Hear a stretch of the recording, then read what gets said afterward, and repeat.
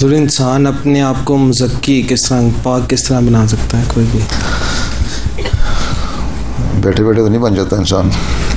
हर वक्त सोचो।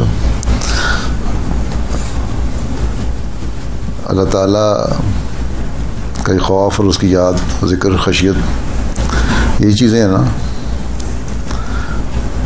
वो होना चाहिए। तो इंसान हर बुराई से बचने की कोशिश करो।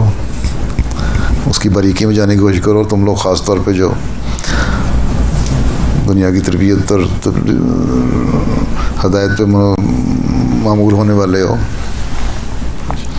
ख़ास तौर पे अपनी कोशिश करनी चाहिए ना इसके लिए। तो एक मुसलसल कोशिश है, एक दिन में तो नहीं बन जाता। और अल्लाह से दुआ सबसे बड़ा, अल्लाह ताला का दुआ और फजल। फिर आज सी। ठीक?